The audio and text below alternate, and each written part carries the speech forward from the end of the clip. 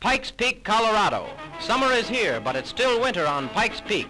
The heavy blanket of snow must first be loosened with dynamite and then cleared away by giant tractors to free the world's highest roadway.